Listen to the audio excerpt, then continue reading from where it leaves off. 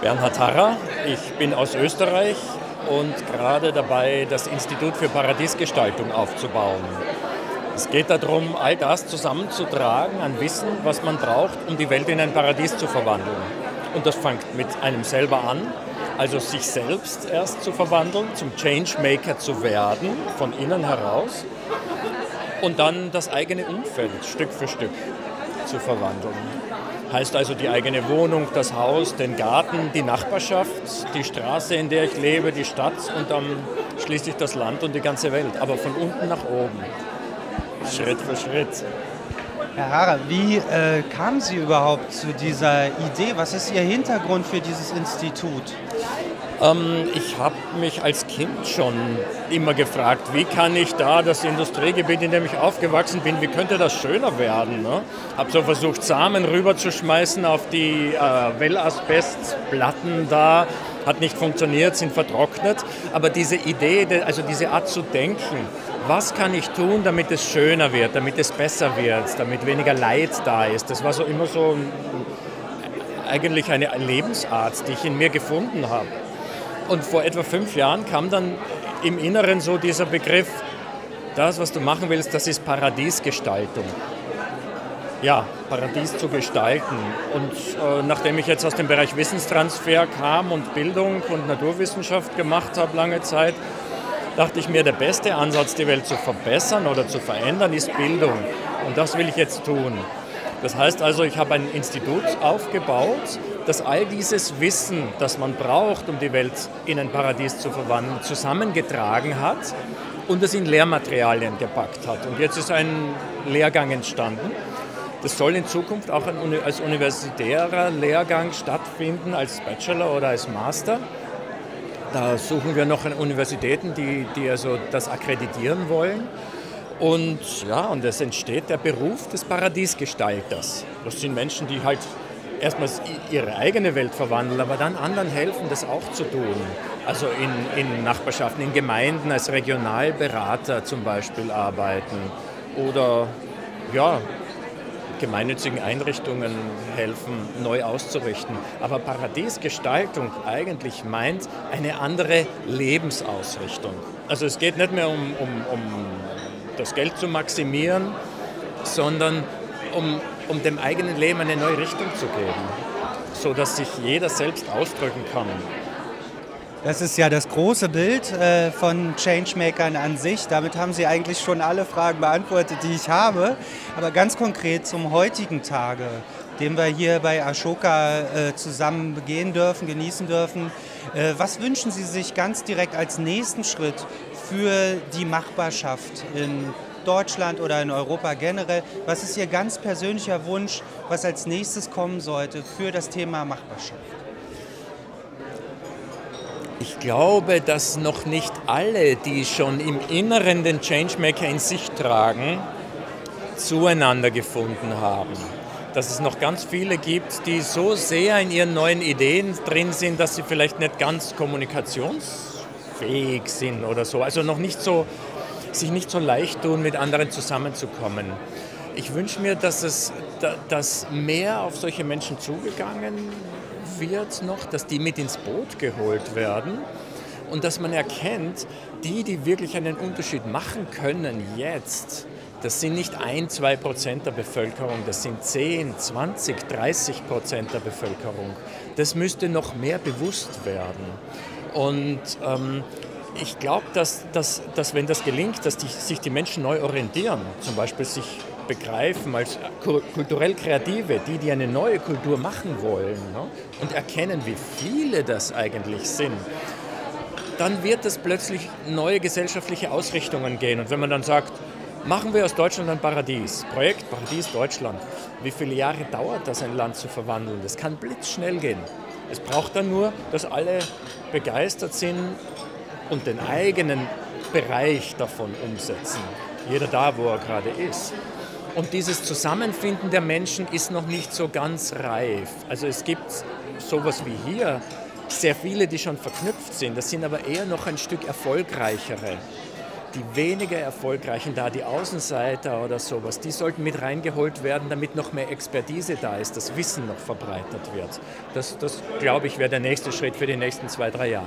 Was kann ich als jemand aus der Mittelschicht in meinem kleinen, in Anführungsstrichen, Alltag ganz direkt tun, um Machbarschaft zu gewährleisten und um Changemaker vielleicht im kleinen oder mehr, mehr oder weniger großen Stil auch direkt werden zu können, wenn ich morgen aufstehe? Was können Sie jemandem raten, der gerade erst anfängt, die Welt zu verändern? Ähm, ich würde sagen, der Unterschied besteht erstmal darin, habe ich einen so, solche Mundwinkel oder habe ich solche Mundwinkel? Und das ist eine innere Entscheidung, die ich morgens beim Aufstehen machen kann. Ne?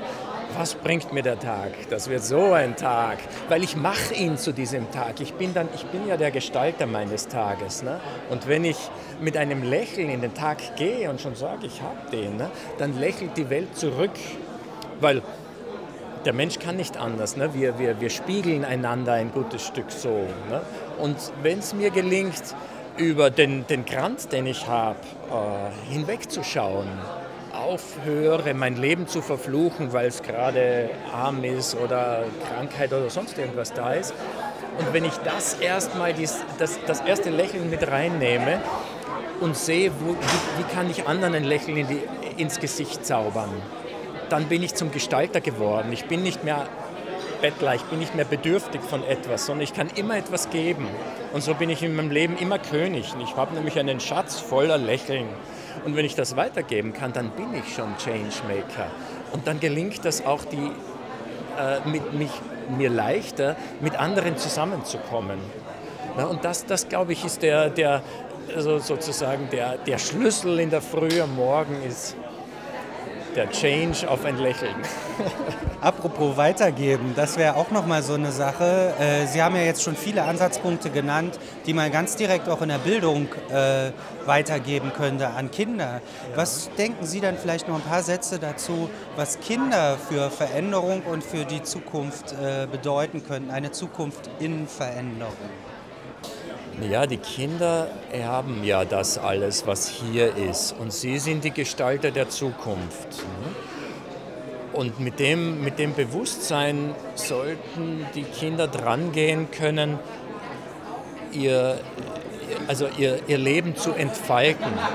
Wer, wer jetzt Kind ist, sollte wissen, dass es nie wieder Vollbeschäftigung geben wird. Es wird keine 40 Stunden Arbeit geben, wenn einer, der, der jetzt Kind ist, aus, dem, aus, dem, aus der Schule rauskommt. Ne?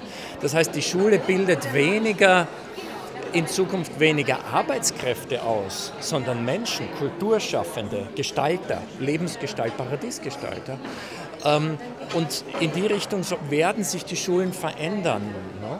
Und jetzt kann ich von vornherein als Kind davon ausgehen, ich werde vielleicht keinen Beruf mehr haben, weil die Arbeit wird von Robotern und Maschinen und Software gemacht. Ja, super. Was mache ich dann? Gestalter will ich allemal sein. Ich bin ja ein Gestalter, ein kulturell aktiver Mensch, sowieso. Der Mensch ist nun mal geboren mit dem inneren Wunsch nach Selbstausdruck seiner Persönlichkeit. Und wenn, wenn ich als Kind schon weiß, wenn, wenn, wenn man heute den Kindern schon sagt, das wirst du sein. Du wirst, du wirst der sein, der das, was deine Einzigartigkeit ist, voll zur Blüte bringt. Dann bin ich als Kind jemand, der im Erblühen ist und zum Erblühen gefordert und gefördert wird in einer bestimmten Einzigartigkeit. Das, was eben nur ich bin. Ne? Und es fällt all diese Normierung weg, die man früher gebraucht hat, um Industrien aufbauen können zum Beispiel. Das machen jetzt die Roboter. Die, sind die, die übernehmen den normierten Part, den gestalterischen Part, den kreativen. Den übernehmen wir Kinder. Das sollte das Selbstverständnis der Kinder jetzt sein, könnte es sein. Und die Schulen werden in diese Richtung gehen. Und man wird sicherlich Paradiesgestaltung in der Schule lehren. Heißt einfach alles so, also ein Beispiel.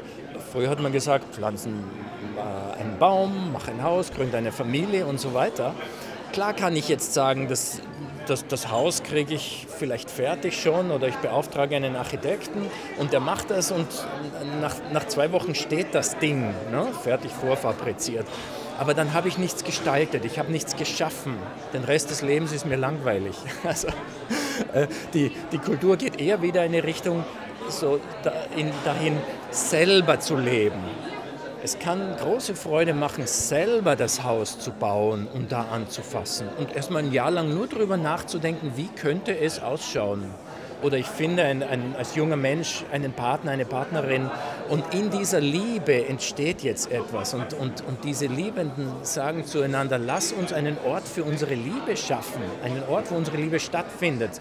Hier ein Haus, das unsere Liebe zum Ausdruck bringt und ein Garten dazu. Und dann entstehen, ja, es entstehen Orte der Liebe, die, die, die nur Liebende schaffen können und dafür brauchen die Zeit. Und das wird, das wird der Beruf des Menschen der Zukunft sein.